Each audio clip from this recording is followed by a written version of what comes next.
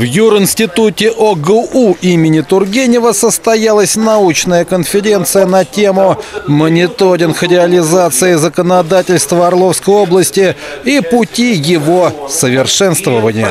Орловский областной совет народных депутатов за 2016 год принял 462 нормативно-правовых акта. Из них 159 это законы Орловской области и 303 постановления Орловского областного совета народных депутатов.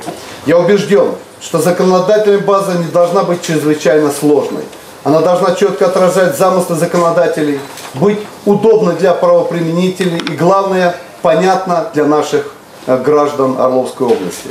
Среди организаторов мероприятия, кроме самого госуниверситета, Комитет по законодательству, государственному строительству, правопорядку и депутатской деятельности Орловского облсовета, а еще региональное отделение Ассоциации юристов России.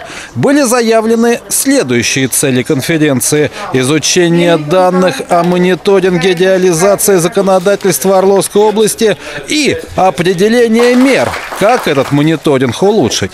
Среди приглашенных депутаты облсовета, прокурорские работники, сотрудники управления Минюста, члены регионального правительства, ученые и студенты.